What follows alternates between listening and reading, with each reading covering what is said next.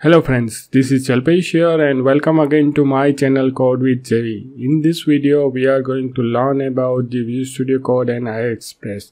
So agenda for this video is how we can install the IIS Express extension in the Visual Studio Code and uh, how we can use it.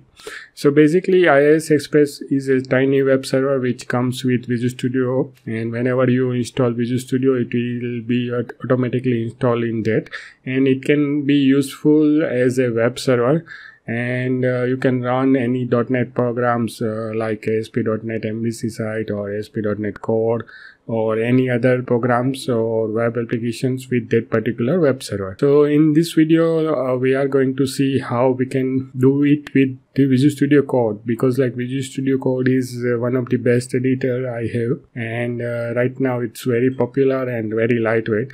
So we don't need to open the Visual Studio uh, to run IIS. You can do sample things with IIS in the uh, Visual Studio Code also. So what we are going to do is we are going to open a terminal. So let me open my terminal here. So here uh, you can see the terminal is there.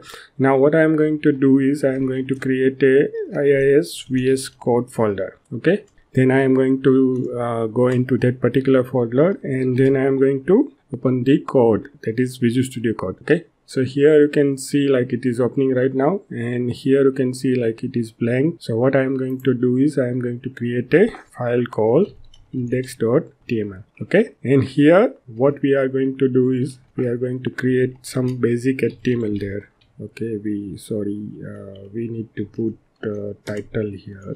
And then we are going to put this stuff there. And what we are going to do is we are going to now create the body tag and then i am going to put a h1 tag there and we are going to write hello from IIS Express with Visual Studio Code. Okay, so this is the steps. So now what we need to do is basically is to install the IIS Express extension.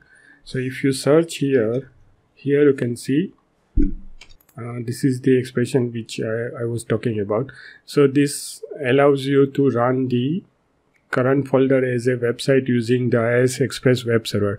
So what it is doing right now is basically like it, this extension creates a web server there and it will allow you to run this particular folder. So the folder which we are talking about is like this one IIS VS code and which we open and which we have created a index.html file there right? So what we are going to do is now you can see like i have already installed that particular extension. And here you can see that uh, with the help of control plus f5 so there are some commands there. So with the help of command uh, uh, you can run this particular stuff. So if you put control plus f5 then it will run the IIS uh, web server. So what I am going to do is I am going to press Control plus F5 and it is going to start. So here you can see like uh, it is starting the web server and right now it's loading that particular tab.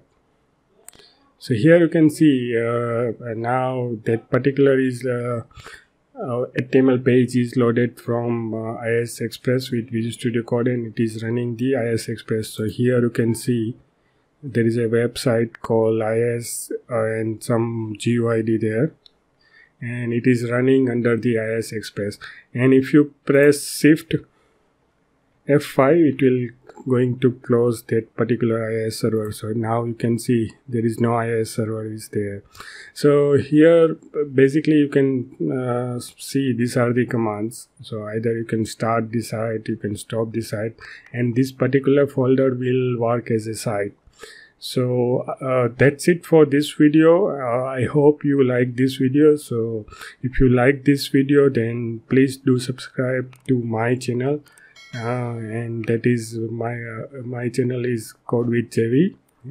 And it will give me more motivation to create uh, videos like this.